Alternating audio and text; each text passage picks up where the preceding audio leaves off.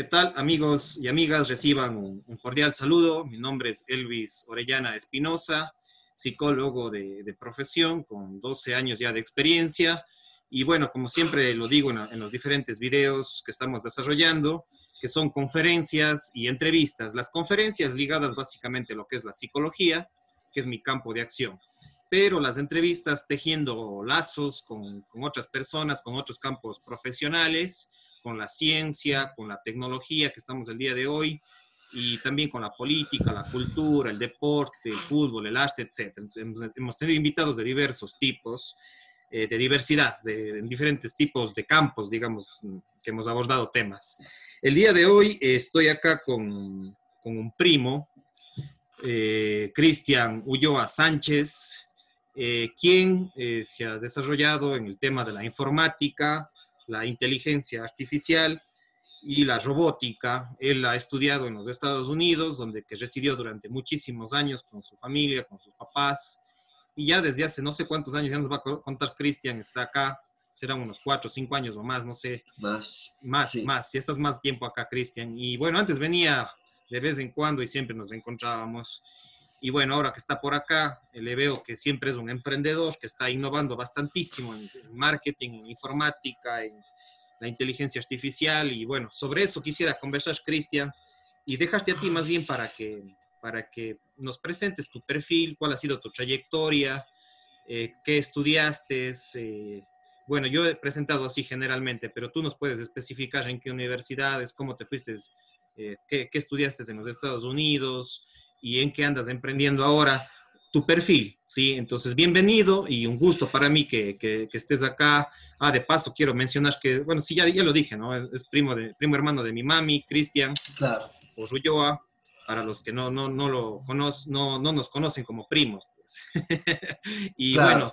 Eh, Somos parientes desde hace tiempos y éramos años.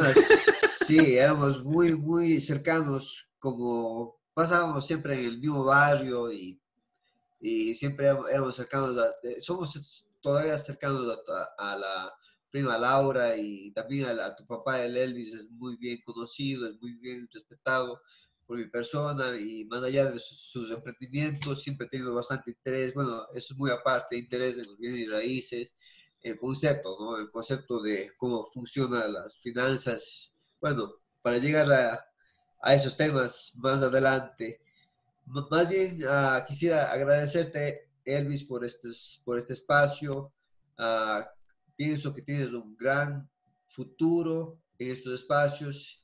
Ah, cada vez que he visto tus entrevistas, tus compartidos, cada vez vas evolucionando, vas mejorando tu, tu organización de presentación y te felicito por eso y deseo lo, te deseo lo mejor y quiero que sigas adelante con esto porque es, es un medio súper interesante lo que es el medio digital. Eh, es algo nuevo, es algo que no se va a ir a ningún lado, ya, ya, está aquí para quedarse y qué mejor que tú lo has adoptado como un medio de comunicación social ah, y por eso realmente te felicito. Es, es, un, es, un, chévere proyecto lo que estás entablando. Ah, Gracias. en base, seguro, mi brother en base a la trayectoria, realmente, ¿qué te diré? Empecé mis, mi vida educativa aquí en Gualaceo. Fui estudiante de kinder, de kinder en la, escuela, en la escuela de Santo Domingo de Guzmán y de ahí fui estudiante primer grado en la Brasil, en la Escuela de Brasil, antes de partir de mi querido país me fui a los siete años de ¿en Qué año? ¿En qué año estamos hablando? En ¿Siete años de edad? En el 1987, precisamente. Me fui el día de, en el día de la independencia del Ecuador, me fui a Estados Unidos. El 10 de agosto de 1987 me fui con mi madre y mis dos hermanos. ¿Ya? Mi hermano ya había vivido allá con mi padre algunos meses. Mi padre vivía allá, vivía allá desde el 68, si no me equivoco. Ya se fue muy joven. Y bueno, como es la vida, ¿no? Entonces mis, mis, ah, mis estudios empezaron aquí en Gualaceo. Luego de unos años de haber estudiado allá, regresé a los 12 años de edad, en el 92, donde estudié en el colegio técnico, que en mis años posteriores me sirvió mucho porque ahí aprendí a leer, a escribir y a hablar castellano, español, porque no sabía muy bien.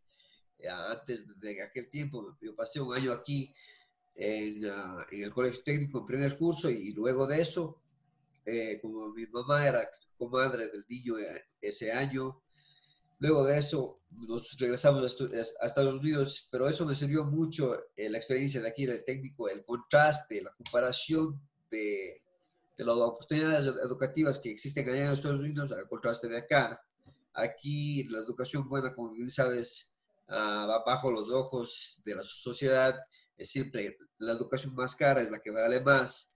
En cambio, ya uh, hay una diferencia bien sutil en la calidad de, educación pública y privada. La privada es más por las conexiones, uh, conexiones que haces dentro de, la, de, las facultades privadas. Eso es la gran diferencia. La calidad no, no hay mucha diferencia. No hay diferencia entre lo, público y lo privado. No hay diferencia en academia, en calidad académica. Calidad más diferencia en social, en las conexiones sociales que, Ah, ya, en las, en las relaciones sociales, las clases sociales de pronto, Que, que, son más desde el privado. Sí. Ya. En el privado, especialmente en uh, educación post-secundaria, universidad, posgrados, Mientras más caras las universidades, más, más afiliadas las conexiones. Por ejemplo, Bill Gates tuvo ya un preámbulo de conexiones antes de ni siquiera empezar la universidad y, él, y eso que nunca acabó la universidad, él se retiró para formar Microsoft. yo, yo voy a hablar mucho de Bill Gates porque él es uno de mis mentores silenciosos en mi, en mi, vida y le sigo bastante, en bastante detalle ah, y trato de perseguir su pensamiento, sus creencias, me, me influencian mucho. Yo tengo algunos mentores que, que, que menciono, pero Bill Gates es uno de los principales. Antes era, no era mi ídolo, antes Bill Gates era era detestado por mí, por toda la comunidad informática, por ser ladrón, ladrón de ideas. Porque, ¿Cómo es eso? ¿Cómo es eso? ¿Cómo es? Cuéntanos esa parte que, que, ya nos vamos introduciendo eh, desde tu biografía, nos vamos introduciendo ya en, el tema que está ligado, ¿no? Al tema de la informática, de la inteligencia, eh, eh, inteligencia artificial, perdón. Casi me chavo ahí. y ahí, bueno, continúa, porque, ¿qué sería esto? ¿Por qué le decían de, tenían de ladrón de ideas?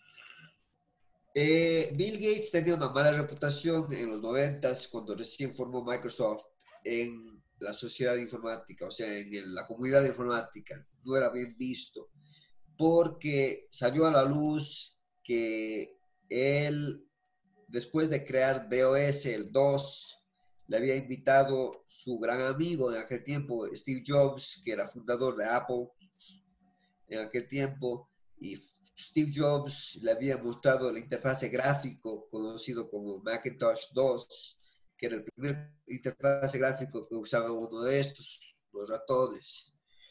Eh, y Bill Gates se fue con esa idea, la idea, no el código, sino la idea de un interfaz gráfico, se fue a la casa, se fue a la empresa y reunió a sus ingenieros y dijeron que, que era idea de él, o sea, que, que él fue el creador de esa idea que, quiere que generen el código para que funcione lo que es Windows ahora, lo que es Windows, lo que todos conocemos como Windows. La idea de Windows, el interfase gráfico que usa el ratón, en vez de solo el teclado con comandos, lo que era el DOS, esa, esa idea fue creada por Apple y por Steve Jobs, pero Bill Gates lo tomó sin ninguna permiso. Sin ningún permiso Ah, y lo formó lo que es Windows, lo patentó como Windows y como él tenía muchos más recursos financieros y muchos más contactos. Que Steve eh, Jobs. y era, que Steve Jobs y era más pilas en el sentido no de creatividad, sino de, de viveza. En el sentido em, e, empresarial. De viveza. Empresarial. Viveza empresarial. Ya. entonces se adelantó años, años luz, lo, lo, aceleró y se volvió el millonario y Steve Jobs casi perdió su, su puesto en, en Apple, porque era un fracaso fundamental, no era un éxito para nada eh, Macintosh, porque justamente porque Windows entró al mercado con más bajos precios y de manera masiva. Pero ya, eso, eso es... Ya, eso en, torno a, Bill Gates, que es tu, admirador. Eh, ahora le admiras, en cambio. ¿Por qué? ¿Qué, pasó ese cambio de pensamiento tuyo? Eh, después de que después de que Bill Gates ah, generó sus billonadas, sus trillonadas de, dinero, ah, decidió retirarse como el CEO de Microsoft y se casó, formó una familia, se calmó los humos, ya tenía plata para, para generaciones, sus hijos, sus tataranietos no tienen que trabajar un día en su vida por tanta plata que generó pero cuando se casó pasó algo, se casó eh, eh, justo antes o después, no me acuerdo, no estoy bien si es que era justo antes o después de que se casó con, con, la esposa Melinda Gates, que es la esposa actual de Bill Gates, ah, se, había muerto la mamá y la mamá de él era muy filántropa, súper filántropa. Y como él ya quería calmarse de los humos y tanta fama y tanta, tanto billete, ya Ah, después de que se, que se casó, formó la fundación Bill and Melinda Gates con la esposa y se retiró de Microsoft y se volvió, se volvió totalmente al contrario de lo que era antes. Se volvió filántropo, quería, solo, quería usar su fortuna que él ganó en Microsoft para dar más bien un aporte positivo al mundo, para mejorar el mundo, quizás para para también pagar por los pecados que cometió anteriormente, los, las ofensas que él cometió a los medios y todo, todo, todo lo que hizo de malo, quizás subconscientemente quiso reponer esos, esos daños. Entonces formó la fundación y ahora todavía tiene mano en la empresa de Microsoft, pero no para nada con el impacto que tenía antes. Y él se enfoca en buscar soluciones viables para el mundo, o sea, viables para enfermedades masivas, fue el que, el que nos advirtió de una posible epidemia hace cinco años. ahí, te interrumpo, ahí, te interrumpo, eh, mm, Cristian. Em, ha habido mucho cuestionamiento a Bill Gates respecto a la pandemia, ya que, mencionas el, tema de la, de la, pandemia, porque dicen que él es el creador. Hay, hay, unas, hay, hay miles de versiones ¿no? de, cómo surge la pandemia y todo esto. Hay, exacto, teorías, hipótesis, eh, creencias, que a veces uno no sabe ya qué mismo, cuál de esas, exacto, cuál de esas hipótesis realmente es la, la verdadera. Pero dentro de todo ese abanico de, de, hipótesis, hay una que no sé si es conspiración, realmente qué, qué tan de cierto es. Dicen que Bill Gates, como advirtió esto que tú estás diciendo en este momento sobre el COVID, dice que él es el uno que está queriendo como controlar el mundo, que está como queriendo, ya tiene inclusive la vacuna del COVID, pero realmente más bien está queriendo controlar a través de, la, de los sistemas informáticos, de la inteligencia artificial, que justamente es nuestro tema de hoy para abordarlo contigo. ¿Qué decís esto? ¿Tú qué opinas de eso? ¿Tienes algún argumento, algún análisis de, este tema? Ahí te costé. Yo tengo una chuta, eso es una buena pregunta, brother. Ah, mi análisis es bastante, bastante personal es una respuesta bien compleja porque tienes que ver no solo de, la perspectiva de él, de Bill Gates, tienes que verlo de una perspectiva más global y más a largo plazo. ¿Ok? Si es que lo ves desde una perspectiva global, ah, esta epidemia es 100% sintética es creada. Es creada sea por Bill Gates, sea por los gobiernos, sea por ambas entidades, sea por el, grupo elite que forma 1% de la población, que controla el otro 99%.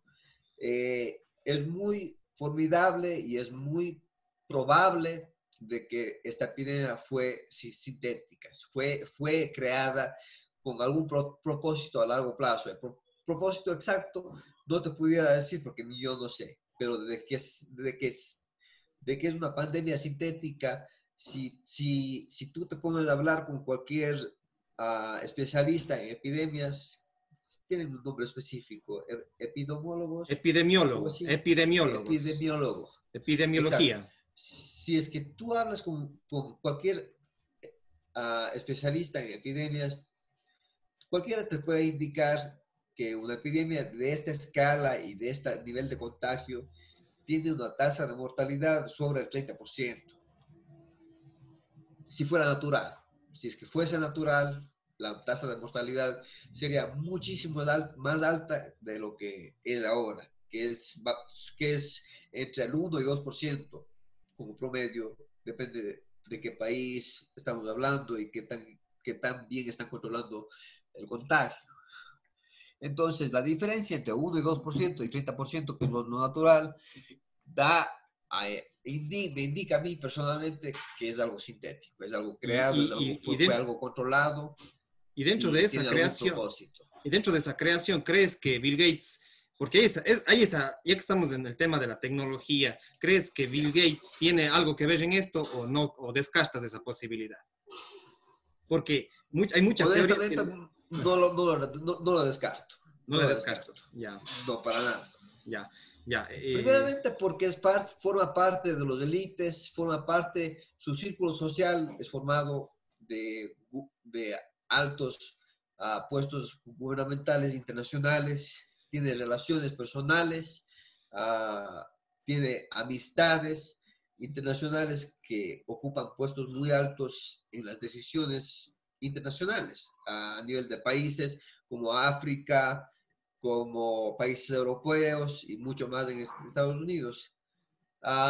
no es decir que es malo, ojo con eso, no es decir que es malo. Recuerda que esta es una estrategia gubernamental, internacional y empresarial a largo plazo. Nosotros no, no lo vemos así porque nosotros somos las víctimas en este, en este show, en este juego. Ah, formamos parte de la sección de víctimas, pero si, si es que lo, ves de un punto estratégico, gubernamental, con objetivo a largo plazo, este es solo el inicio de ese proceso. ¿Qué hicieron para hacer eso? Era un mal necesario. Eh, eh, no quiero decir un mal necesario porque es totalmente catastrófico lo que hicieron, pero, pero al hacer, al formar una, una epidemia sintética aceleraron el proceso tecnológico, la adaptación de tecnología. E, eso, eso, a, eso, a eso iba, o sea, el tema de la, de la, de la o sea, y, lo que estamos, ahorita estamos utilizando Zoom, estamos utilizando tecnología, de pronto hay otros, hay otros medios también, y, y, bueno, pues eso aceleró también, incluso a, nivel de países, digamos, entre comillas, subdesarrollados tecnológicamente, específicamente. Ahora, la necesidad, eh, aceleró la necesidad. Ahora, antes de ir a ese tema que ya estás abordando y que te has adelantado algunos temas que quería preguntarte, como ya te adelantaste un poquito a Bill Gates en los noventas, te adelantaste un poquito a esto de la nos adelantamos al tema de la pandemia. Yo quisiera después retomar esto, este, este momento de aquí y más bien pedirte, no sé si tienes alguna perspectiva histórica de lo que ha sido la revolución informática, que comienza, no sé, quizás en los 50, después de la Segunda Guerra Mundial, eh, con el inicio de la Guerra Fría. Eh, se dice que esta es la, la cuarta revolución, para, bueno, algunos tercera, otros cuarta revolución industrial o la cuarta revolución tecnológica. Sabemos que la, la gran revolución industrial de Estados Unidos y de Europa, que viene desde el siglo XVIII, XIX, se consolida con esta revolución informática desde los 50 y 60. Entonces, sí quisiera pedirte un poco, eh, si es que conoces este tema, y cómo ha ido evolucionando la tecnología, la informática y la inteligencia artificial, y bueno, de paso la robótica, eh, desde los años 50. Todo está, y, todo está interconectado. Ya, eso, eso, quiero que, que, lo analices históricamente. Ya, históricamente, ah, no, no, vayamos muy, mucho, muy, muy atrás. Uh, los años, de los años 50 era era el inicio de todo esto, pero realmente la aceleración de tecnología empezó a fines de los 70 con la innovación de ARPANET. ARPANET eh, formó, formó parte de la tecnología de redes uh, militares que usaban para comunicarse entre interregionalmente e internacionalmente necesitaban una manera eficiente, barata y rápida de, comunicación para de, estilo militar. Eh, y se creó una red de comunicación llamado ARPANET. ARPANET no necesitaba ah, conectividad ah, centralizada, uh, no necesitaba, como, como aquel tiempo las líneas telefónicas todos eran centralizadas, necesitaba un, hub, un punto central para hacer las, las conexiones de comunicación. Antes lo hacían manualmente a, través de, de enchufles y cosas así por el estilo y no era suficientemente eficiente para, para los militares estadounidenses. Entonces, al fin, a fines de, los 70 crearon ARPANET. Luego ARPANET fue adoptado la tecnología en, en, como un intranet interuniversitario. Cogieron los componentes de comunicación de ARPANET y lo adoptaron para que las universidades estadounidenses se comuniquen con unos con otros con las bases de datos las calificaciones, las certificaciones, ahí es cuando realmente empieza todo lo que llamamos el Internet hoy. En base del Internet, adelantando ya décadas más adelante y tocando el tema de la tercera y cuarta revolución, el Internet facilitó las, los canales de comunicación y eliminó otras otros tipos de, de, medios de comunicación, periódicos, uh, comunicación masiva, lo que eran los, los, noticieros hasta hace poco nomás, y siguen existiendo hasta cierto punto, pero a comparación de lo que eran antes, no tienen la, el impacto ni la influencia ni política ni social que tenían antes. Todo eso es dado a que el Internet hace que los medios de comunicación sean más personalizados, más comunitarios, al, parece que, que como, como, te digo, para que sea coherente. el Internet facilitó la comunicación internacional a nivel masiva, a nivel bajo, de bajo costo, pero no fue adoptada de tal manera, se adoptó para que comunidades pequeñas como los gualaseños se comuniquen a través de Internet a bajo costo, con más frecuencia. Entonces, la, cuarta, la tercera y cuarta, cuarta revolución se dice que vamos a regresar de retroceder el concepto de globalización a un concepto comunitario. Y retroceder también la industria, la revolución industrial a nivel local cosa que van a decrementar los precios de fabricación, precios ah, de innovación, de tal modo que tú y yo, en una comunidad tan pequeña como Gualaceo, podemos crear, uh, crear cosas físicas, tecnológicas, digitales, ah, instrumentales, a bajo costo, cosa que nunca antes teníamos acceso a poder hacerlo con, la innovación y el acceso fácil de impresoras 3D, a kits robóticos, inteligencia artificial y tecnologías así. Entonces, la cuarta revolución es un retroceso a la globalización. La globalización está regresando a, a, una, a una economía más y más regional, más y más local.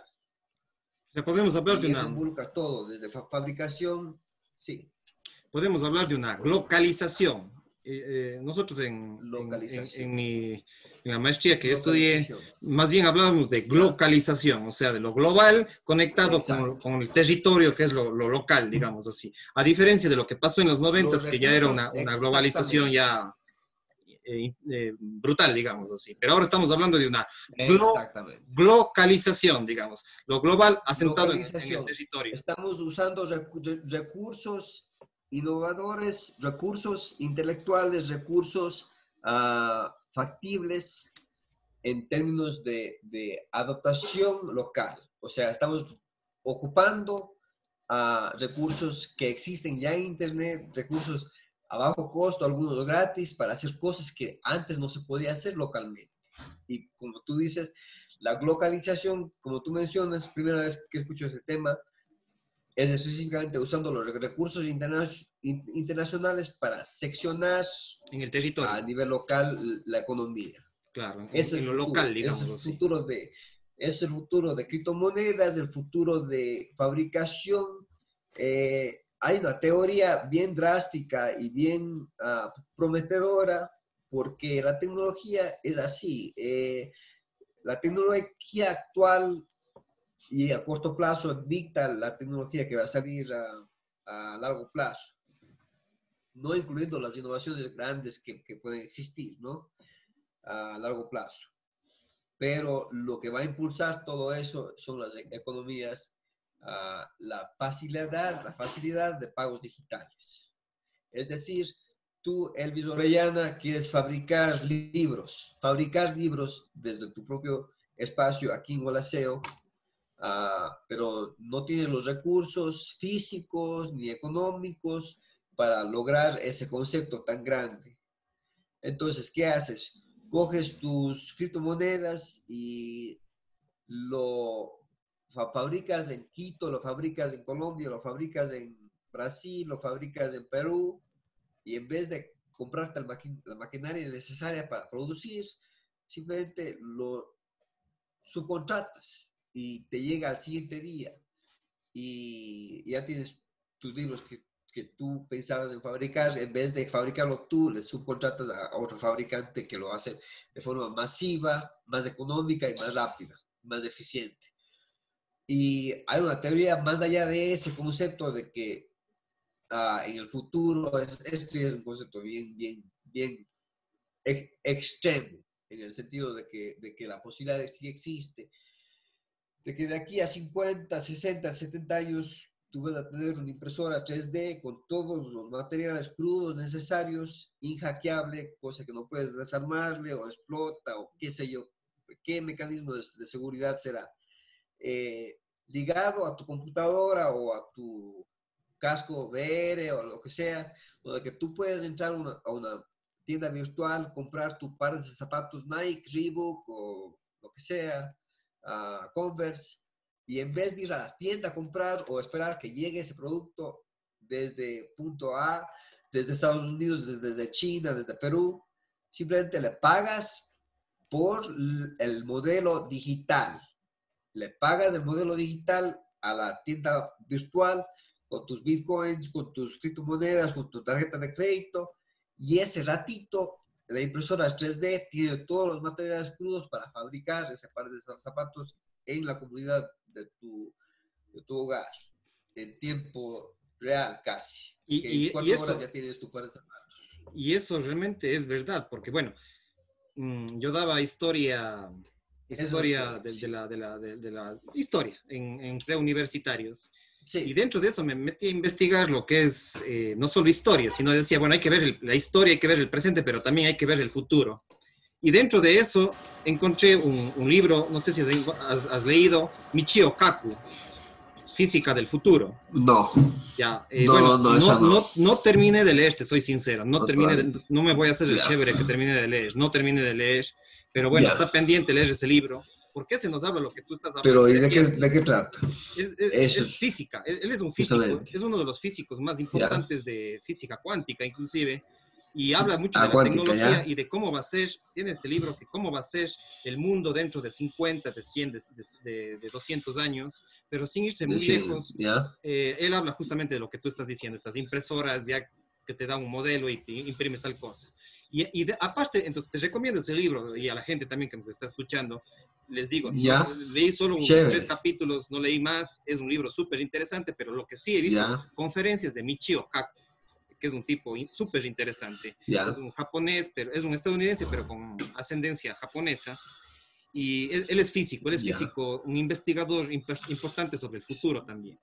¿Y por qué te menciono esto? Porque dentro de esas investigaciones también encontré que en Perú acá en Perú hay un científico muy importante, que no recuerdo el nombre, eh, de pronto después te pasaré, y está imprimiendo órganos.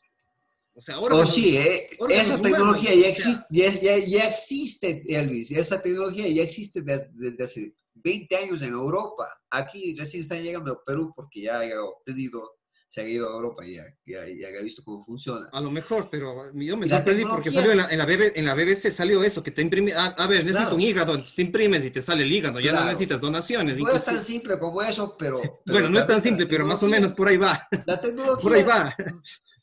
es simplística, Elvis. Esa tecnología es verdadera simplística. Si es que vos todo cómo funciona, cómo funciona una impresora 3D, tiene tres ejes, X, Y y Z. Por eso es 3D, ¿no es cierto? Se mueve en, esos tres ejes. las impresoras típicas te imprimen plástico. Si es que tú encuentras la manera de, no imprimir plástico, sino alimentar el cartucho con, otra, con otro material, específicamente en este caso orgánico, la metodología es súper simplística. En Europa salió un artículo hace más de 17 años que había una, un laboratorio ah, privado que estaba ah, cogiendo tus cédulas, ni siquiera células madres, sino tus cédulas y incubándolas para que se reapliquen de una forma, uh, en, una, incubadora, de una forma eficiente. Y al momento de incubar esas, esas células, podían reingeniar, reingenerarles, o sea, reestructurarles para que uh, se puedan insertar en, en, un cartucho. Puede ser un, no, no tan simplístico como un cartucho de, de, tinta, pero digamos un cartucho viable que pueda imprimir uh, células orgánicas. Ya estaban con esos 17 años con la máquina eh, preliminar, o sea, un, prototipo ya funcional, donde imprimían orejas, claro que demoraban meses, meses, quizás eh, hasta un año, pero replicados de tus propias células. Hace 17 años salió ese artículo. Y ahora ya estamos con órganos. Ese artículo. estamos con órganos. Y no es, no es muy... Si es, que, si es que hablas con alguien que sabe de cómo... Eh, cómo biotecnología.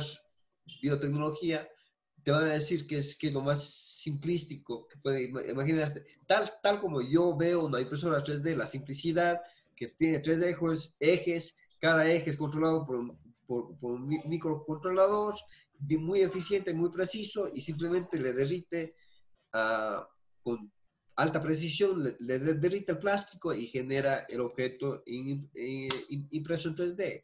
Pero, pero no la veo muy, muy tan revolucionario, no, no revolucionario, no es la palabra correcta, tan innovador, uh, futurístico o tan complejo la noción de poder imprimir órganos. No la veo para nada complejo, si es que lo ves desde ese punto de vista. Y estamos, ya estamos ahí. O sea, no, no, no me sorprende que en Perú ya hay, eh, estoy seguro que en Brasil ya existe hace tiempos, en Ecuador quizás exista en algún sótano de algún loco que no sale a la luz. Algún Tesla por ahí. algún Tesla por ahí. Tesla criollo. Y creo, y, creo, Elvis, que vamos a encontrar a esos Teslas en, el club que estamos formando. Estamos inspirando a las siguientes generaciones para que sean revolucionarios, para que sean uh, innovadores, para que no tengan miedo a la alta tecnología. Es justamente el objetivo de la fundación que estamos formando nosotros ahora. Eh, Cuéntanos para tocar un poquito de eso. Un poco, de, un poco del tema ese. Uh, yo trabajé, yo tengo un poco más de 21 años de experiencia en el área tecnológica. He trabajado en el SRI uh, ah, de Estados Unidos, he trabajado en el municipio de Gualaceo, he trabajado para una empresa, para unas dos empresas privadas, eh, como programador principalmente. Acá en el Ecuador acá en el Ecuador. El SRI de Estados Unidos trabajaba con operador telefónico, contestando preguntas, pero también usaba los sistemas de ahí. Nunca desarrolló software en, ese entorno. Pero uh, lo que me inspiró es justamente, regresando al tema de Bill Gates y su fundación, y cuando tuve a mi segundo hijo, eh, ya dejé las calles, ya dejé la mala vida, yo era medio pero acelerado en ese sentido. la mala vida. La mala vida. Entonces, uh, ya estaba buscando un propósito más allá de mi ser, uh, más allá que, que, pueda impactar no solo a mi bolsillo, sino en las vidas de, la, sociedad. Porque sí, de la sociedad. Y había leído un, un, un, pasaje, no me acuerdo en dónde había leído, pero dice que si, si, es que tú quieres cambiar el mundo, o por lo menos tu entorno local, no puedes cambiarlo horizontalmente, tienes que cambiarlo verticalmente. ¿Y eso qué quiere decir? Tienes que impactar, es decir, que, tienes que impactar a las generaciones emergentes. no a las, no a las generaciones ya establecidas, porque están establecidas, no puedes cambiar las mentes. Ya estamos cuadrados, los, de más de 30, 40 años ya estamos cuadrados. Bueno, pero no, no, hay que satanizar tampoco. De pronto, si hay algunos viejitos que son súper innovadores. Yo conozco mayores que enseguida cogen el celular y, y no solo el celular, sino en otros campos también de la tecnología y de las ciencias. Eh, también tienen esa mente prácticamente de un aprender de, de un jovencito. Pero bueno, evidentemente que las nuevas generaciones tienen una, nueva visión, por supuesto. No solo la, visión, sino como el objetivo específico, Elvis, es que quieres cambiar el entorno, no puedes cambiarlo así, así encuentres a unos par de viejos, como tú dices, que son innovadores, claro que siempre existen y siempre existirán, pero ellos no son los que, hacen cambiar el entorno pero si, es que tú logras cambiar a un entorno generacional, emergente, es decir, a los jóvenes y a los niños, de una manera positiva, creas otro, otra realidad para las futuras generaciones de ellos, otra realidad completamente. ¿Y en qué te andas? ¿En qué te andas? ¿Cuál es ese club? Cuéntanos, ¿de, qué trata? ¿Cuáles son sus objetivos? su visión, su, visión de futuro. A, a, nivel fundamental, desde que nació mi hijo, quería tener el pretexto más grande de compartir mi, tiempo, el poco tiempo que me queda en este mundo, con ellos lo más posible, lo más, tiempo, el más tiempo posible. Entonces, se me generó esta idea junto a un colega mío desde hace tiempo mismo de, generar un club tecnológico donde que nos reuníamos en mi local, en mi empresa Código Cero, lo que era antes la empresa Código Cero, en mi local de Código Cero uh, nos reuníamos y simplemente compartíamos nuestros conocimientos, como un foro, pero físico, uh, cara a cara, personal. Entonces empezó muy desorganizadamente el concepto básico de, lo que es ahora el club y la fundación a, largo plazo. Uh, nos reuníamos una vez al mes, una vez cada dos meses y hablábamos de tecnología. Cada uno se iba a la casa y nos regresaban más a veces. Fracasó cuatro veces y cuando nació mi hijo, uh, mi colega Paul Orellana y yo decidimos tomar el mando nuevamente, mucho más estructurada, mucho más seriamente el concepto de, de qué es lo que quiero, uh, queremos del club. Entonces, todo eso viene desde, desde, una sola inspiración que se llama Mitch Altman, que es un amigo mío en Facebook. Mitch Altman es un genio loco, de mente, acelerado. ¿Me puedes, eh, eh, Cristian, no sé si nos puedes deletrear en español los nombres de este señor? Mitch Altman. M-I-T-C-H Altman. A-L-T-M-A-N es un amigo mío. Él fue uno de los fundadores, uno de los fundadores de los Hackerspaces en California. Hackerspaces es un, es un espacio comunitario, es un espacio público donde tú ingresas a este lugar público y tienes acceso no solo a alta tecnología, no solo a herramientas como herramientas electrónicas, kits robóticos, impresoras 3D, a máquinas de cortar, sino tienen acceso a los que usan esa, tecnología, a la comunidad de ingenieros, a la comunidad de, aficionados, que todos pertenecen a este espacio público, realmente condensado en un espacio pequeño. Y encontraron la perfecta combinación de, de diversión y aprendizaje en estos entornos. Y si es que tú escuchas el discurso de Mitch en TED X, creo que está, no creo que está en TED, pero está en uno de los dos, TEDx o TED, ah, habla con una pasión que vos le ves así en los ojos cuando habla del verdadero amor que tiene hacia la comunidad de Hackerspace, que él fue cofundador de este, de este entorno de California, que luego se regó por todo el mundo, se regó por todos Estados Unidos y está emergiendo acá en, Ecuador, en, Latinoamérica. Eh, el concepto de hackerspaces es el mismo de los makerspaces, que es un lugar público donde que tú tienes acceso a, a, todos los materiales, de las herramientas, la innovación, los recursos y también a las personas que saben de cómo usar estas herramientas. Entonces, tú tienes 12 años, Ah, y simplemente juegas videojuegos ah, en tu celular, ves películas del futuro, tienes una, una verdadera pasión, una verdadera ah, afición a la tecnología, pero chuta, llegas a la escuela, te enseñan cómo usar Microsoft Word, te enseñan cómo usar Excel, PowerPoint, te enseñan cómo escribir un correo electrónico, dices cómo, y te aburres porque vos ya, ya aprendiste eso desde ese tiempo. Tienes 12 años y llegas a un entorno donde que vos puedes entrar a desarmar una computadora, desarmar una tableta y hay alguien ahí, una persona con bastante experiencia que te toma la mano, de la mano y te enseña para que no tengas miedo a aprender alta tecnología, para que no tengas miedo a desarmar la computadora y dañarla, porque tienes esa libertad, ese entorno divertido para hacer todo eso. De eso se trata el Club Código Cero, crear un espacio público que combina la diversión y el aprendizaje de alta tecnología a nivel personalizado. Si es que tenemos alumnos, tenemos miembros de Código Cero que son aficionados a tecnología, pero en cambio son más al entorno de diseño gráfico. No son mucho a la robótica ni a la, electrónica, sino les gusta edición de video, les gusta uh, cómo crear flyers de Photoshop, pero no tiene los recursos, no sabe a dónde ir, se aburre con los, con los tutoriales de YouTube, quiere un espacio donde pueda evolucionar en ese entorno sin miedo y con alguien que le pueda ayudar. Em, y a la vez mm. inspirar a otros alumnos en su, en su, en su red, a su primo.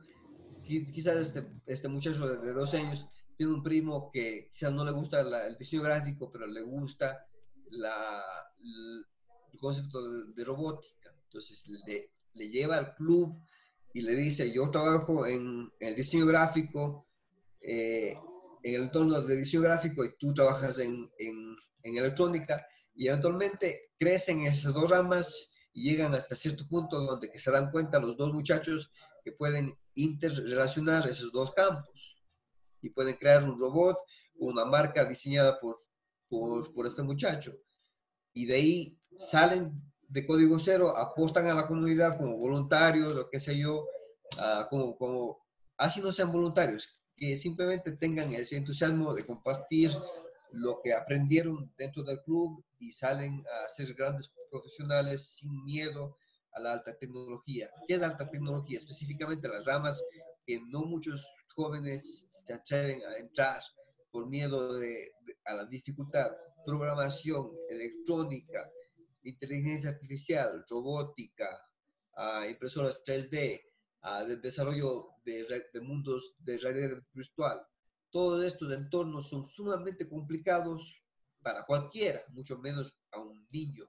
Pero en cambio un niño, y le preguntas a las, a generaciones nuevas, casi, casi todos los niños tienen alguna afición tecnológica. Les encantan los videojuegos, les encanta poder uh, armar conceptualmente en, las, en, la mente de ellos, armar robots. Em,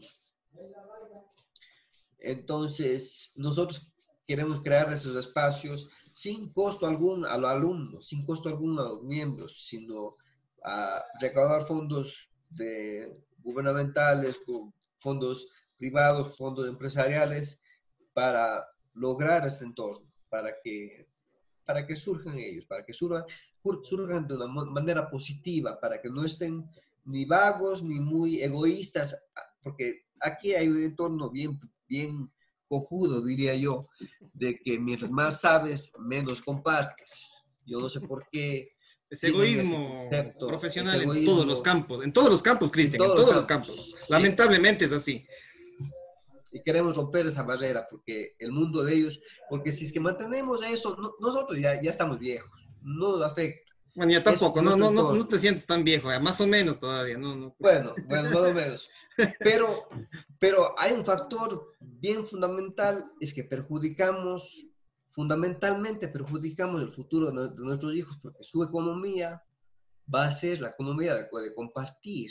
Y si es que llevan esa mentalidad de egoísta, les perjudican a ellos a largo plazo, porque les van a hacer hebras, los que empiezan a compartir, les van a hacer hebras económicamente, socialmente, y van a surgir a niveles altísimos. Y se ve eso, ese entorno se ve mucho, mucho más claro en el entorno digital que se llama ah, código libre, código abierto, eh, en el lado del software, que yo, yo tengo mucha experiencia en ese campo de años y veo la evolución hay sistemas de software tan bien desarrollados y tan bien evolucionados que, que los consumidores comunes que, que, compran Windows, que compran Macintosh, que compran el iPhone, nunca van a ver.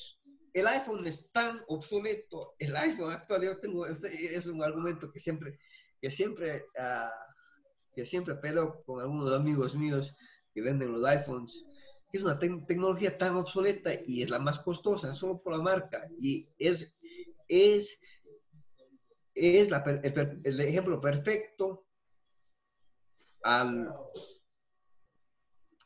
al, al ciegamiento, o sea, lo que, lo que los consumidores no ven que hay otras alternativas mucho más evolucionadas, mucho más eficientes, mucho más fáciles de usar. En cambio, la gente se se entorpece que el iPhone es el mejor y que el iPhone es mejor y Bloom. Y hay alternativas no solo de, software, para, para computadoras, para, para, celulares, y se están perdiendo unas herramientas hermosas, súper fáciles de usar y súper valiosas para el futuro. Entonces nosotros queremos hacer llegar esas herramientas, no solo las herramientas, sino la mentalidad. La mentalidad que hay en una comunidad de código abierto, de hardware abierto, de software abierto y queremos que las generaciones nuevas tengan acceso, por lo menos conocimiento que, que existen estos tipos de recursos. Porque la, eh, eh, mayoría ahí te costo, eh, exacto, lo que acaba, la última palabra que acabas de decir, no sabe, yo creo que es un tema más que de nada, es de información y de ignorancia. Tengo una otra entrevista con, con geólogo, te invito a, a que le veas en mi canal en YouTube, que justamente hablábamos de eso. A veces no es por, no es por eh, otras cosas, no sé, más bien es por ignorancia. Y yo creo que estamos en la era de la información y justamente este canal y lo que tú estás haciendo, pues va empatando en eso. O sea, eh, no tanto yo desde la tecnología, sino desde otro campo, pero ah, utilizando, por supuesto, la tecnología básica que yo conozco en mi ignorancia, digamos, porque también soy un ignorante en tecnología, pero justamente personas como tú, eh, al momento de compartirnos esta información, pues nos vamos abriendo a esos, esas otras posibilidades, pues porque uno tiene en la cabeza ciertas marcas, ciertas cosas más por, más por marketing, por posicionamiento, por recomendación, que porque haya un efectivo eh, un efectivo alternativo. alternativa y, como tú dices, otros beneficios muy, muy importantes. Ahora estamos utilizando Zoom, de pronto, no sé, hay otras herramientas de software libre que uno no conoce y que de pronto... Pero, sí hay. De hecho, hay, debe haber bastantes. Y uno, por ejemplo, yo por ignorancia no lo utilizo, no he buscado. Y a veces también nos, a veces nos, nos limitamos también a, a eso de ahí, y, bueno, eh, entonces también hay alternativas a Zoom, hay alternativas a Skype. Eh, sigue nomás, primo, si es que tienes algún... No, no, hay, problema. ¿Estás con alguien ahí? No, no, no, tranquilo, no. Mi, mi, padre acaba de llegar a saludar nada más. No ah, ya, ya, ya. No, hay, problema. no tranquilo. Un, saludo, sí, un saludo, al, el, niño. Seguro, ya. Vea, Elvis, el alternativo más claro y el que más recomiendo yo, y mucha gente desconoce y voy a compartir este, este conocimiento a través de, tu canal. ¿Qué es lo que más usan? ¿Qué es el software más usado en nuestro entorno? El clásico Word, Excel, PowerPoint, Office. Nosotros tenemos la, la, mente no cerrada, no es culpa de nosotros, de nosotros como tú dices, no, no, no conocen que existen estas alternativas pero muchos que conocen las alternativas no se esfuerzan a, usar esas alternativas a largo plazo y revierten al, a lo que están acostumbrados. Nosotros como comunidad ecuatoriana estamos ya enseñadas a usar Microsoft Word, Microsoft Excel, Microsoft PowerPoint desde que éramos chiquitos. Conocemos como marca y la funcionalidad de la interfase y así nos hace familiarizar. Correcto. Hay alternativas mucho más viables que el suite de Office actualmente y son gratuitos, son muy seguros y son todos en la nube. uno de mis favoritas se llama Google Drive, de Google. Yo, tengo, ah, el Google Drive. El Google Drive. Tengo una certificación de instructor en Google Apps para, para todos los Google Apps, no, no solamente uh, Drive. Drive tiene herramientas súper escondidas, incluso para la gente que conoce Drive como, tu persona. Hay herramientas tan específicas que jamás, quizás jamás van a existir en Word, porque para que existan en Word significa que Word tiene que estar ligado a un, a una, a un pool, se llama, o sea, a, un, a una cantidad masiva de robots llenos de inteligencia artificial que puedan descifrar lo que tú dices. Hay un dictador de voz dentro de Drive que vos simplemente especificas el lenguaje que tú hablas y no tienes que entrenarle para nada a, descifrar lo que tú dices, sino simplemente tú dictas al micrófono y, eh, el Drive automáticamente te, te transcribe lo que tú estás diciendo, como si fuera una secretaria, con una eficiencia mayor a cualquier secretaria hasta yo que a veces gagueo un poco cuando hablo, me entiende el traductor, se ajusta a mi, a mi nivel vocal, a mi nivel de, a la velocidad del cual yo hablo y simplemente se adapta a mis necesidades sin tener que instalarlo en ningún ordenador, sin tener que entrenarlo, simplemente se abre automáticamente en tu cuenta de Drive. Y eso beneficia a muchos estudiantes hoy en día, no solo secretarias, no solo ah, abogados que siempre tienen que transcribir todo manualmente. Manualmente ni siquiera estoy hablando de, de, de lápiz y papel, o esfero y papel, o bolígrafo y papel. Estoy hablando de teclados. ¿Qué hacen hoy en día? Cogen, cogen lo que está escrito y lo transcriben usando el teclado.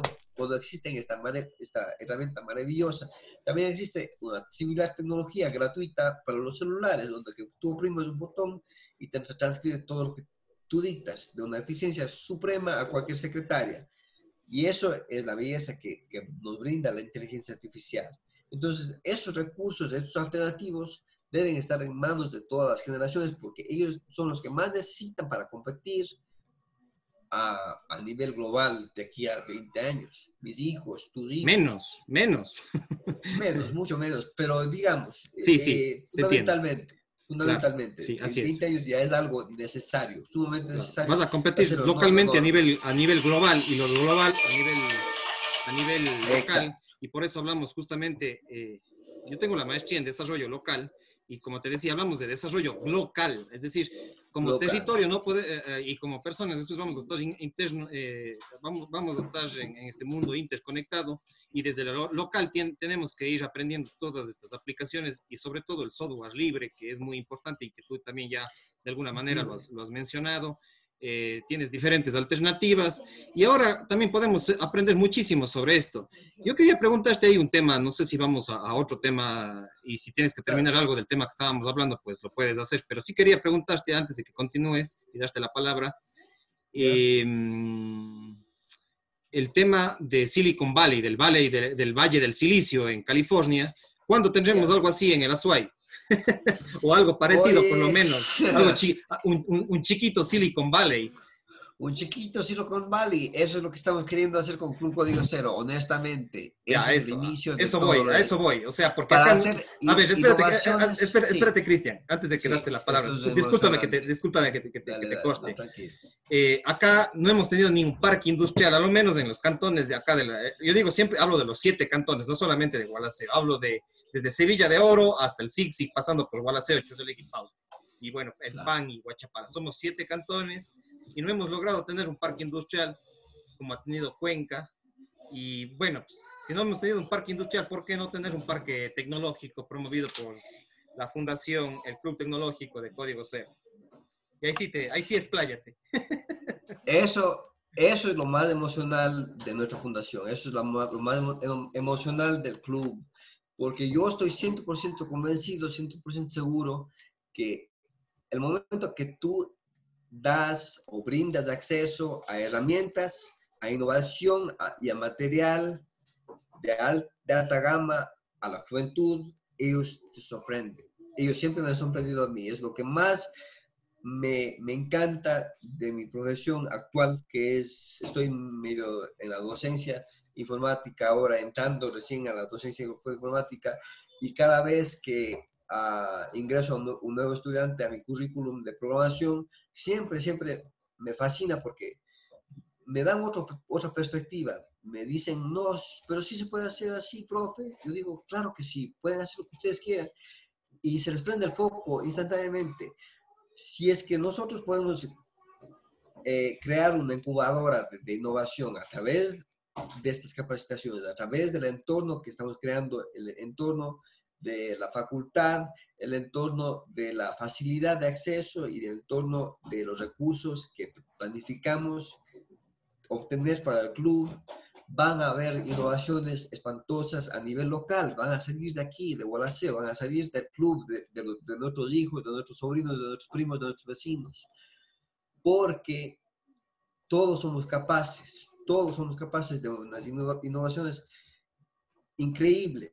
Lo que nos falta es el conocimiento y los recursos para facilitarse. De ahí van y las ganas de aprender. los Silicon Valley, las ganas de aprender siempre están ahí, están inertos, están inertos en cada uno de nosotros. Somos, uh, por, al simplemente ser, ser humanos, uh, existir como ser humano, pensar como ser humano, tenemos esa necesidad como ser humano para crear cosas y mucho más cuando, cuando son jóvenes, mucho más cuando son jóvenes. Tienen esa, esa inquietud de romper solo para curiosidad cómo funciona. Y eso, eso yo comparto desde que era niño. Yo quería, uh, yo me acuerdo que en mi primer programa que escribí en la computadora tenía 15 años y era lo más maravilloso que yo había experimentado en mi vida. Esa, esa emoción que hasta el día de hoy me reto a tener cada vez que diseño un programa o una aplicación o algún reto nuevo.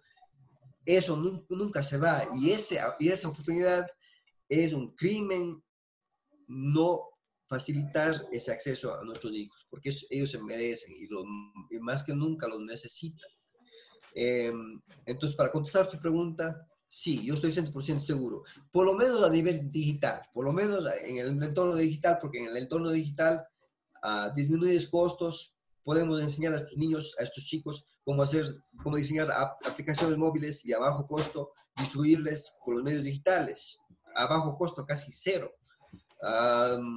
Fabricación con, con, la ayuda de, recursos, ah, de, recursos financieros, gubernamentales o internacionales, podemos conseguir ah, materiales o herramientas de producción masiva para que ellos impriman, uh, desarrollen sus propios videos, tengan los, la facultad de una pantalla verde para que ellos experimenten cómo hacen para que no solo vean las películas de Hollywood, sino ellos crean películas tipo Hollywood. No estamos diciendo que van a competir con Hollywood, pero siquiera darles esa, experiencia de satisfacción de poder, mira mami, cree, uh, una escena con mi personaje favorito, Iron Man, y aquí, aquí lo tiene en mi celular.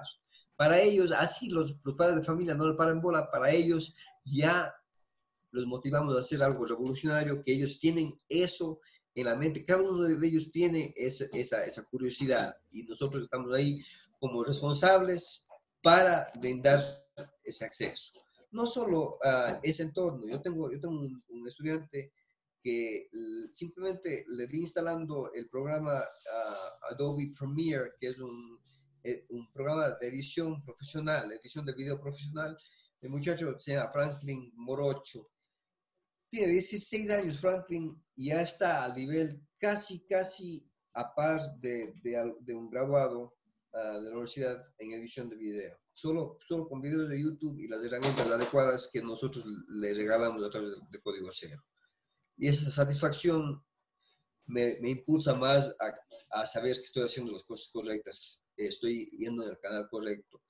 Ah, tengo un amigo también que es fanático de la música electrónica, pensamos tener uh, herramientas para que ellos crean música tradicional y también la música electrónica para que empiecen a mezclar. A fusionar lo tradicional con electrónico. Exacto. Entonces, todo eso tengo bastante esperanza de que, de que se va, va a ser una revolución positiva para, para, nuestros jóvenes y más que todo para cambiar el entorno, la mentalidad, para que cuando mis hijos crezcan tengan recursos a, a donde adquirir para que se defiendan, para que se defiendan en el futuro de ellos, porque el futuro de ellos es más, incierto que nunca ahora. Yo puedo decir que sí, el futuro de ellos uh, trae localización o mm, métodos de pago digitales o nuevas formas de fabricación, pero es solo en teoría, nunca sabe, todo el mundo puede, puede transcurrirse a otra dirección en, en, un lapso de un día en, en, esto de la tecnología, pero ellos tienen que uh, tener la obtener la habilidad, y es que creo que es lo más importante, es la habilidad de poder adaptarse, la habilidad de poder aprender cosas nuevas y adaptarse lo más rápido posible, porque el mundo de ellos, como el mundo nuestro actual, siempre va evolucionando, siempre va cambiando, y si no se adaptan rápidamente, eh, perjudican su evolución y, su, y, su, y, su, manera de competir en el mercado, para sus propios beneficios. Eh, chévere, Cristian. Interesante todas estas cosas. Eh, te quería preguntar otra cosa también. ¿Cómo, ya que tú, tú, mencionas que estás ya en la docencia, eh, ¿cómo le ves el tema? Sí, eh, el tema de, o bueno, ¿cómo le ves el tema de la educación en las escuelas y en los colegios acá en nuestros territorios, en el Azuay de pronto, en Gualaceo, en, en, nuestra zona y bueno, en Cuenca? Eh, ¿Cómo le ves eso? y ¿En, qué contexto? ¿En, qué informática, en informática, en informática, en, lo que, en lo que tú estás hablando, lo que estás queriendo incentivar, esto de, de este club de informática, de tecnología, de alta tecnología, ¿Cómo, ¿cómo, ¿cómo, ligas eso con las, con las escuelas y colegios? ¿O no es posible sí. Romper claro que paradigmas? Sí, claro que sí, claro que sí podemos romper, es, es, sumamente necesario romper esos, paradigmas de Elvis. Y además hay que, antes, antes de eso, eh, eh, perdón que te interrumpa así, eh, porque a veces en las mismas escuelas no hay ni profesores de informática, o sea, no. entonces, ¿cómo le ves eso? Ahí, sí te corté y te dejo que continúes. Ya, claro, no hay docentes, no hay recursos, no hay facultades, no hay materiales, no hay herramientas. No es decir en todos los institutos educativos, pero el promedio o sea, el ratio, como se dice, el... Cuando existe que en nuestra región, no, sin mencionar Cuenca, solo Gualaceo, Paute, Sixi, Chordelej, yo solo conozco, yo no sé si estoy equivocado, solo conozco a un, a un instituto educativo en nuestra región que está por lo menos intentando implementar lo que es el entorno tecnológico, porque ellos ven claramente la necesidad de educar en ese entorno y, o de por lo menos incentivar la, educación. Y esa es la UESME en Chordelé. Es la única que yo escuché, he escuchado que, que viene evolucionando, evolucionando, esa es una palabra clave.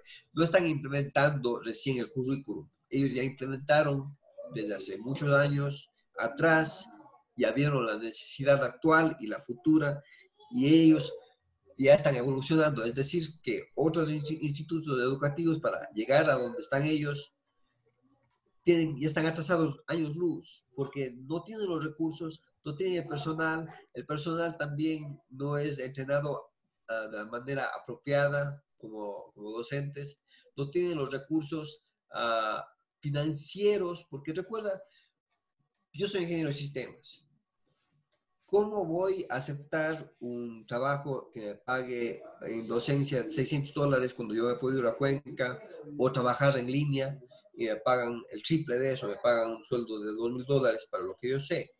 ¿Por qué voy, por qué voy a perder mi tiempo en, en, el sentido monetario, que es lo que muchos, muchos uh, profesionales buscan, buscan lo, lo ven desde, desde ese punto de vista? Entonces, por esa razón principalmente creo yo primordialmente existe el déficit de docentes eficientes y por lo tanto, como no hay docentes eficientes, no hay recursos y no ven la necesidad, o quizás vean la necesidad y tratan de, convocar a profesionales adecuados para, para canalizar y no lo encuentran. No hay, no, no hay estos entornos. ¿Por qué? Porque el nivel ah, del sector privado nos, nos limitan a esos porque nos ofrecen mucho más recompensa en, otros entornos. Por eso no optamos para ser docentes. En, yo no opto para ser docente en Santo Domingo de Guzmán o en, o en la escuela pública, por esa razón. Entonces yo prefiero uh, crear un entorno de educación libre, con mis propias reglas, con, con lo que veo que funciona, porque, porque recuerda que tecnología es, es algo bien peculiar de que no puedes aplicar las, mismas reglas de educación tradicional a, tecnología, no puedes, porque se rompen los esquemas automáticamente. Tecnología es innovación, tecnología es abrir la mente, porque hay miles de maneras de llegar al mismo punto y, y no hay cómo medir eso de, con métodos educacionales tradicionales. ¿Cómo puedes enseñar a un niño de 12 años de informática uh, y, y, hacer que, que, pase un examen como un assessment, ¿cómo se dice assessment? Un examen final, si es que el mismo método le permite llegar a, al resultado de miles de maneras. No puedes, o sea, es, es, injusto. Entonces, el entorno no funciona en escuelas privadas, no, no, no funciona la, la, educación tecnológica. Los únicos que funcionan es el WESME porque no aplican educación tradicional en ese entorno. Si es que vos analizas el currículum, el currículum de, de la UESME, tiene un flujo mucho más libre, tiene un flujo, tiene una estructura educacional en el departamento tecnológico diferente a todos los, otros departamentos, porque ellos ya, ya se dieron cuenta, están en miles de libros este concepto de que tiene que ser abierto, tiene que ser uh, accesible a, a, cada estudiante. Y eso, y eso choca, choca con la estructura tradicional. Pero a esa revolución lo, lo vamos a ver de, de, alguna manera u otra. O clases en línea. Por eso muchos, muchos estudiantes dicen, puta, profe, ¿por qué voy a perder el tiempo en un curso de, me han dicho, un curso de, de, un mes, cuando yo puedo aprender todo lo que voy a aprender en ese curso de, de un mes en tres horas en YouTube, sentado, sentado y concentrado, tres horas en YouTube, yo recibo la misma información comprimida en tres horas y ya puedo aplicar después de tres horas, no tengo que esperar en, una, en un mes de ahora. Porque los recursos están ahí, los recursos. Tú puedes aprender electrónica, electricidad, informática, totalmente básica en, en cuatro horas, en vez de este, al colegio y aprenderlo en un año. Claro, y ahí, los, colegios, las universidades se están quedando bastantísimo, pues, y, no solo en la informática, como dices tú, en, otros campos, en geología, en ingeniería, en la misma psicología. Yo tengo cuántas conferencias que estoy desarrollando en, YouTube. Y bueno, a eso va el mundo y, y los colegios no, como a excepción de algunos, no están mirando eso de ahí porque tienes profesores que solamente están ahí no por la innovación, por la educación, incluso hay hasta el temor de incorporar eh, algunas materias que, que, cuestionan el sistema tradicional de educación, pues la misma ciencia, por ejemplo. De pronto, de pronto en algunos, hoy, justamente encontré con, me encontré con un amigo que trabaja en un colegio religioso, que no voy a decir el nombre, decía, acá, acá recién dice, si es que alguien, si es que alguien plantea la teoría de la evolución de Darwin, chuta y choca con las creencias tradicionales de la, de la religión, de pronto eh, te mandan sacando. Y no solamente es un caso, de pronto es, eh, en el mismo caso, a mí me ha pasado por experiencia propia, uno quiere innovar en psicología, plantear otros enfoques de verle a la psicología, y si es que a ellos no les gusta, si no está uno en la línea de lo que el rector, el, el director o el decano de una universidad o de un colegio o de una escuela, si no estás en la línea, pues entonces ándate o te discriminan o te dicen diferentes cosas. Entonces, como tú dices, más bien crear nuestros propios emprendimientos digitales como tú estás haciendo, o como en el caso mío, que estoy emprendiendo con este canal, y también iré haciendo otras cosas. Ojalá podamos algún rato empatar también la tecnología con lo que yo estoy haciendo eh, y ir, innovando en, diferentes campos, psicología y tecnología, geología y tecnología, eh, qué, sé yo, ambiente y tecnología, educación y tecnología. O sea, todos son labs, sí, exactamente. Es que es así, o eh, sea es así, el, y, y, no somos los únicos que pensamos así. El mundo ya está dirigiéndose así. Y y no es culpa de las instituciones educativas en sí, individuales. Ah, yo voy a ser franco, o sea, yo voy a ser directo uh, y voy a tomar este medio también como oportunidad. La culpa lo tiene el Ministerio de Educación por no tomar la responsabilidad, porque ellos son los que más saben qué es lo que está funcionando en otros países. Es lo que más saben que en países europeos ya, ya cambiaron la estructura de educación y están, y están evolucionando años luz más rápido que nosotros en ese entorno. Ya saben, porque si yo sé, obviamente ellos deben saber, y si es que no saben, ya hay un problema más grave de lo que yo me imagino. Entonces, ellos tienen que tomar el mando y decir, ok, ¿saben qué? Y ya empezar a divulgar lo, lo que quizás no eliminar lo tradicional, no eliminar. No se porque puede eliminar, ¿no? Tomando, tomando, tomando lo que tú dices uh, del, del, contraste de la evolución, de, del concepto de evolución de Darwin uh, a nivel religioso, yo ya tengo 40 años y me he dado cuenta que sí está interlineado, sí está interconectado todo lo, lo evolucionario a lo religioso. Si es que lo ves desde un punto de vista de que nosotros no somos capaces con tanta tecnología, uh, innovación, solo en concepto, tenemos el concepto de crear uh, otro ser humano o, poner nuestra inteligencia en, un robot, pero, puchicas, para llegar a ese nivel de sofisticación, si es que tú analizas cómo funciona el cuerpo humano, la mente humana, solo un ser supremo pudo haber creado algo tan fenomenal. Y, claro, además otra cosa, el, perdón, ese es el, y ese es el chip, perdón. Pero ¿cómo está eh, complementario lo uno y lo otro? o sea, eh, ¿Cómo está complementario? Es el chip que falta en la historia de Darwin. Él llegó a, claro que estamos evolucionando, pero la razón por la cual estamos evolucionando es porque fuimos creados para evolucionar. La, misma teoría del Big Bang, la misma teoría del Big Bang, eh, y fue creada por un sacerdote católico. Entonces, a veces eso la misma, la, misma gente no reconoce. Entonces, eh, ¿cómo vamos conectando? ¿Cómo, ¿Cómo, vamos conectando? Hay prioridades mucho más fundamentales que eso. Claro que el concepto, el concepto sí es bueno, pero en práctico hay muchas más urgencias más predominantes. Hay muchas más urgencias. ¿Cuáles? Hay la urgencia, la urgencia de que las siguientes generaciones todas necesitan tener una mente analítica una mente analítica. Eso es para mí primordial antes que tocar el, tema de, debate de evolución versus religión, porque eso afecta directamente a la sobrevivencia de las siguientes generaciones. Las siguientes generaciones van a sufrir lo que se llama la, los cambios evolucionarios, los entornos evolucionarios a velocidades que nunca, nunca hemos experimentado tú y yo.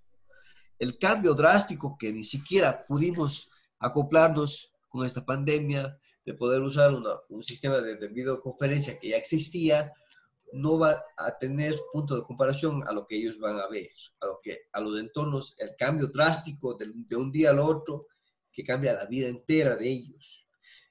Empresas, no, no, no empresas, no empresas carrera de enteras, enteras como es la, la contabilidad, ya no va a existir de aquí a 10 a 14 años, porque ya existen tecnologías y están puestos tecnologías que están evolucionando detrás de las cortinas, como es la inteligencia artificial, no para reemplazarlos. Nosotros, nosotros, no es que la tecnología va a reemplazar a los humanos, a los contadores nosotros mismos vamos a decidir que la tecnología es más eficiente y es más barata que los mismos ah, contadores y vamos a liquidar nosotros, no la tecnología. ¿Cuáles crees que son las carreras? ¿Cuáles crees que son las carreras que pueden ir desapareciendo aparte de la contabilidad? ¿Y cuáles crees que son las nuevas carreras que pueden tener un, sólido en unos 10, 20 años?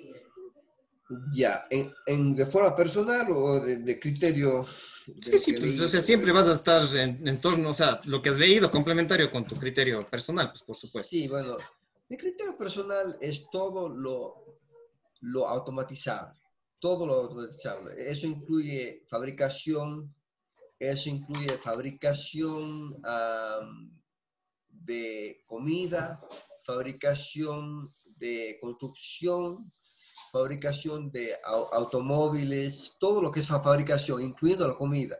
Es decir, de aquí lo que el proceso de McDonald's, de McDonald's, en teoría no es 100% automatizable actualmente. Actualmente no se puede automatizar, ¿sí? Porque, porque necesita el, el control humano para que sirva como control de calidad de las hamburguesas que McDonald's sirve, digamos. Eso es porque no aplican el concepto de inteligencia, de inteligencia artificial a lo, a lo automatizado. Puede, ser, puede llegar hasta ser más saludable, menos costoso de lo que es ahorita, no puedo imaginarlo, pero ya, uh, menos costoso. Y, y a McDonald's como empresa puede ser que tú llegues ahí en un carro, apretas un botón, ordenes tu, tu cena y ya la paradigma, tu mente paradigmática ya no va a estar en contra de que un robot te sirva tu, tu cena de McDonald's. Ya no va a estar en contra porque tu entorno ya va a estar englobado en ese, en ese, en ese mismo concepto.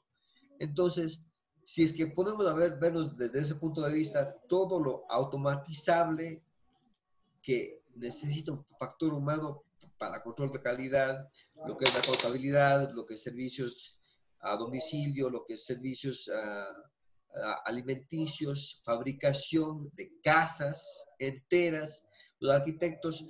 Ahorita mismo, con todo respeto a la profesión de, tu padre y a muchos amigos que son amigos, amigos personales míos que son arquitectos, la arquitectura, me imagino que es casi igual que la informática. Ah, hay modelos, miles de miles de miles de miles de modelos de casas pagados, algunos son pagados a bajo costo, algunos son gratuitos, que vos simplemente les descargas, les modificas al, al, al, a, los, a, las dimensiones de, del terreno. Y allá no necesitas más, solo necesitas saber que el material que está que está asignado a esa casa realmente coincide con el material disponible en tu, en tu localidad, nada más. Eso es lo único que necesitas. Entonces, cosas así van a ser más, más y más automatizables con la, con la promesa de, inteligencia artificial y, e impresoras 3D, porque ya existen impresoras 3D que ponen los, las, ¿cómo son cosechas? ¿Cómo, ¿Cómo, se dice? Los planos. Uh, los, los, planos. O sea, le, le alimentas de la computadora el plano. Plano arquitectónico. plano arquitectónico y, y, la máquina ya va, por lo menos poniendo las, las, los fundamentos de, de la construcción. ¿cómo las, las estructuras, las bases. Las estructuras, las bases. Ya, ya tiene eso, ya existe eso. En China hay videos de YouTube que, que pueden acceder. Entonces, para contestar tu pregunta, cualquier industria automatizable y con el concepto de control de calidad, que es lo único, que sea el único factor humano, va a ser reemplazado. De aquí, puede, puede ser de aquí a 20, puede ser de aquí a 40, puede ser de aquí a 50, 50 años. Esos son los reemplazables. Ahora, el otro lado, el otro, la otra pregunta, ¿qué es lo que pienso que van a evolucionar? mucho, hay cuatro sectores. Hay cuatro sectores que dice Bill Gates y que yo estoy totalmente de acuerdo. ¿Para que reinventar el fuego? Cuatro sectores que no pueden ser reemplazados tecnológicamente, por lo menos reemplazados en su enteridad. Educación, sistemas de finanzas, ah, no específicamente de, de cálculos, sino de transacciones de control de, transacciones, control de, transacciones monetarias, pagos digitales. Eh, a, eso Tiene que ser alguien controlando un humano, porque si no dejamos todo, todo, nuestro entorno económico y financiero a manos de una computadora y eso puede ser catastrófico. Entonces, no creo que va a afectar a esa industria. Esa industria, pero ciertos sectores de la industria, claro que van a ser afectados. Entonces, recapacitando, educación, nunca van a poder reemplazar una máquina un docente, por lo menos el, el, rol del docente quizás cambie a un rol de guía, no, no tanto como que el docente te da los conceptos en un entorno de una, de una aula, sino te guía, te dice ah, bueno, este alumno es más apto para ser eh, ingeniero eléctrico. Ya les va canalizando con los recursos digitales para que llegue a su, a su, a, su profesionalismo más óptimo que, pueda. Ese es, eso va a ser el rol. De, es como un mentor, es un coach, un mentor, un mentoring, un coach, eh, un tutor, digamos así. Perfecto, exactamente. Entonces, educación va, va a evolucionar en ese sentido. Pero, por lo tanto, va, a estar en altísima demanda los que pueden adaptarse a ese, entorno, docencia. La docencia, mentorizada, digamos, llamémosle así, ¿ya? Finanzas, biotecnología, específicamente salud, en todo lo que es entorno salud. Biotecnología es un complemento a la salud, no es un reemplazamiento, ¿sí? Entonces, el incremento de, de, profesiones dirigidos a la salud y a la biotecnología, que viene a ser lo, mismo. Y el último sector, energía renovable, específicamente renovable. Van a haber más y más demanda porque todos estamos interconectados. Ya, ya tenemos tú y yo, tenemos esa mente abierta, mis hijos van a tener esa mente abierta que van a exigir más y más generaciones, las que vienen, van a, exigir más y más energía renovable. Ya, no, ya no se van a creer el, el, cuentito petrolero por los gobiernos. Van a hacer una revolución, van a hacer bulla y se van a hacer escuchar y ellos van a cambiar ese entorno. Y eso va a crear miles, miles, miles de empleos adicionales a los que existen ahorita en, ese, en esa industria. Esos tres, tres sectores creo que van a, a estar en más auge en los 140 años. Interesante, eh, Cristian. Eh, ya para ir terminando también en honor a, tu tiempo, ya estamos más o menos una hora, 20 minutos. De pronto, eh, de pronto seguiremos dialogando, que no sea la última vez, y articulando tu trabajo con el mío para ir conectando ciertas cosas. Claro, primo. ¿Y cuáles serían tus últimas palabras? No sé, unos tres, cuatro minutos, eh, algún mensaje y ya un poco de, despedida prácticamente para ir cerrando y agradecerte también de paso por tu tiempo, que yo sé que es valioso y que estás ocupado, pero muchas gracias por, por este tiempo, que también estás haciendo un rol de educación en redes sociales, que es un poco la intención de, de estas entrevistas, para que la gente te conozca a ti, eh, también me conozca de paso a mí de lo que estamos dialogando, eh, a mis invitados y conozca diversos perfiles de gente importante que está trabajando en diferentes campos y por supuesto tú estás en el campo de la educación, de la tecnología, de la inteligencia artificial. ¿Cuáles serían tus, tus últimas palabras para ir cerrando y quedas invitado para otras entrevistas? Gracias, Elvis. Gracias por la oportunidad y ha sido un placer esta, esta hora y media realmente dialogar contigo. A los tiempos realmente que hemos dialogado por más de 10 minutos y realmente ah, es un placer tener a alguien con, con, quien compartir muchos conceptos que no se puede compartir con, con, con muchas amistades que tengo. Uh, no por, por cuestiones ya personales, pero eso ya muy, muy aparte. Entonces me alegra que, que existe este medio de comunicación para, para llegar a la gente que realmente nos, nos puede escuchar y sepan que realmente no estamos hablando pavadas, como, como mucha gente piensa que, es que están ciegas, autocegándose. Entonces, para, para concluir, mi mayor consejo a, la, a mi comunidad guaraseña, a la comunidad que, que tanto me ha, me ha, brindado la mano, me ha tomado como hijo de Guaraseo y me encanta vivir aquí, la tranquilidad, la, la facilidad de crear a mis hijos en mi cultura, en mi entorno, sin tener que preocuparme del, del, de lo contradictorio que es vivir en una subcultura, en una, una cultura contradictoria americana. Cuando vivía allá, eh, ese, ese trastorno no quisiera para mis hijos, entonces me alegro de vivir en un entorno que es propiamente mío y facilitarles a ellos para que vivan eh, en un entorno propio. Uh, y simplemente a los padres de familia que no se cieguen, que apoyen, no se cieguen a lo que viene. no piensen que todo el mundo está en su contra, que no, que no tengan miedo a la tecnología, que no tengan miedo a, evolucionar en ese... En ese... Ya, ya. Ya, ya todo bien. Ya, ya, gracias. Entonces, ¿en qué estaba? Ya, me fui, ya se me fue el canal. El tema de que, que, los, que las personas no se cierren a no se cierren a nuevas posibilidades de futuro, de, de, lo que, se nos viene, eso estaba, en eso estaba. El, el, momento de que los padres de familia no toman acciones propias para, para preocuparse del entorno que van a vivir el futuro de sus hijos, perjudican ese mismo futuro para ellos.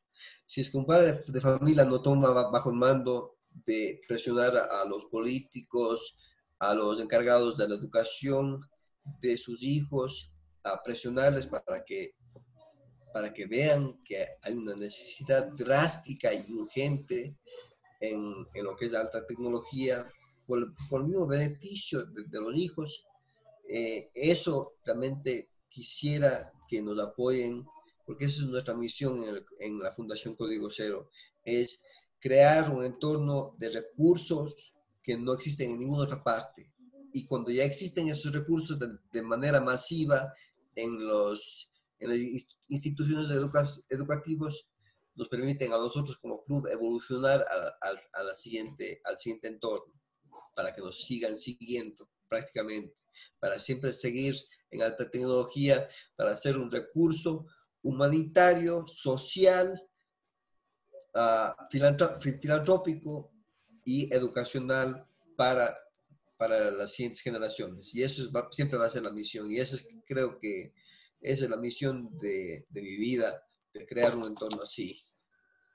Chévere, chévere, Cristian, muchísimas gracias. Yo te quedo eternamente agradecido y como te digo, no te, molestaré solamente hoy, te molestaré otras veces para seguir conversando, dialogando de estos temas importantes. A veces cuando, yo creo que esas son las facilidades de la tecnología.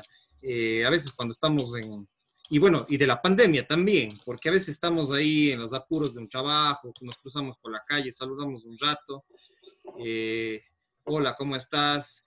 Pero a veces eh, eh, son necesarios estos espacios como el de hoy para profundizar temas como los tuyos, que son relevantes y que la sociedad a veces no está abierta a este tipo de, de mentalidad más bien a veces se sataniza demasiado negativamente la tecnología, más bien deberíamos no irnos a los, extremos, por supuesto, pero también la tecnología es un, es un, componente relevante para nuestros hijos, para nuestra familia, para uno mismo como profesional, como no profesional, como empresario, como político, como futbolista. Eh, la tecnología en el fútbol también es importante, etcétera, en los otros campos de la cultura, etcétera. Entonces, agradecerte. Eh, amigos y amigas ha sido Cristian Ulloa Sánchez, eh, un líder, digamos, de nuestra localidad del Cantón Gualaceo, que se educó mucho en Estados Unidos, pasó mucho tiempo allá, pero que ahora está sirviendo a la comunidad gualaceña con su fundación Código Cero, acá en el centro de Gualaceo, a una cuadra prácticamente del, Cantón Gualaceo. Eh, sé que hay personas que nos están escuchando a nivel de Cuenca, de la SUAY, del Ecuador y del mundo, incluso a nivel de Estados Unidos, que viven nuestros eh, colegas, como tú viviste mucho año, eh, muchos años allá, nuestros coterráneos. También les mandamos un, saludo también a toda la familia y a todas las personas. Con esto estamos terminando. Agradecerte, Cristian, un, un gusto, mucho, mucho gusto y estamos en contacto cualquier cosa. Ya te me descargo el video porque es pregrabado y te etiqueto ahí para colgarlo en el, YouTube y, bueno, en, el Facebook. Estamos en contacto y un abrazo ahí. Saludos a la familia.